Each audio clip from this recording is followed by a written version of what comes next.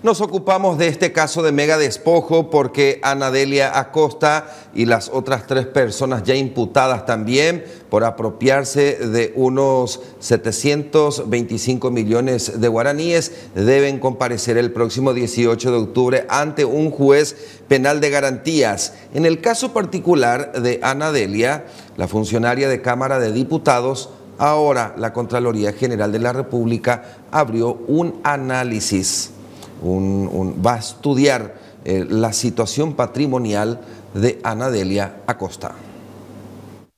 Para el 18 de octubre, los cuatro imputados deben presentarse ante el juzgado para su audiencia de imposición de medidas. La fiscal Norma Salinas considera que la causa está bien encaminada y adelantó que en febrero del año que viene debería presentar una acusación o desvinculación de los investigados en el caso. Asimismo, la agente recordó que todavía tienen dudas sobre cómo se realizó el acuerdo con la familia. Existen muchas aristas en el proceso que estamos determinando día tras día atendiendo a que el escribano manifestó que él no realizó eh, la escritura pública, ¿sí?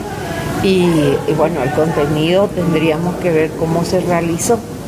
Eh, en el día de la fecha también tengo que eh, celebrar que varios escribanos han comparecido y han manifestado que están preocupados por la situación en la cual se producen este tipo de eventos que son con escrituras públicas y llamándonos la atención a, a que tengamos cuidado en el futuro con este tipo de escrituras. Por su parte, Marcial Ayala, abogado de Anadelia Costa, dijo que aún no tuvo ninguna notificación sobre la audiencia y se limitó a decir que todo es muy incipiente aún. Ayer a última hora, este, ya cerca de las 13, retiré la copia íntegra del cuaderno fiscal de investigación Ahora mismo estoy en la oficina este, justamente viendo eh, todos los detalles del procedimiento, la imputación y voy a estar ya interiorizándome detalladamente de todos los actos y diligencias investigativas realizadas por el Ministerio Público a fin de